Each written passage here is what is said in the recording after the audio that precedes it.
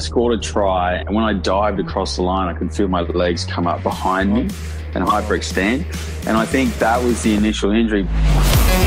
When I went to go see the surgeon, he couldn't believe that I walked through the door. It was the worst case scenario he'd ever seen, 25 years.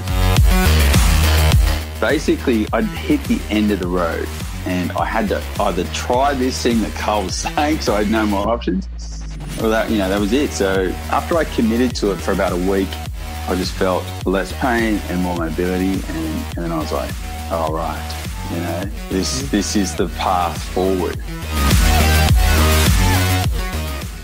Welcome to the Manceptional Podcast. This is your host, Ken Arciga. Thanks for tuning in. I started the Manceptional Podcast because I am on a journey myself to uh, better myself. I guess you would call it uh, Ken Arciga 2.0 is what I'm going for, reinvent my life. Uh, that doesn't mean throw everything out. I have a wonderful family and, uh, you know, collected some skills over the years. So I'm not abandoning everything, but I just want to get to the next level.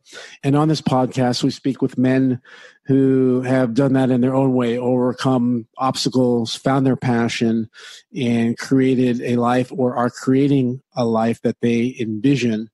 And, and for me, at least, uh, getting under your own steam and doing that passion, that vision is, uh, and, and, having freedom doing that is kind of the ultimate goal.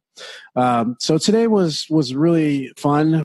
We speak with Rias Fredericks. He is a former professional rugby player. He played rugby all over the world, originally from South Africa. And we talk about how he injured his back and he basically lived with excruciating pain for 20 or 25 years before he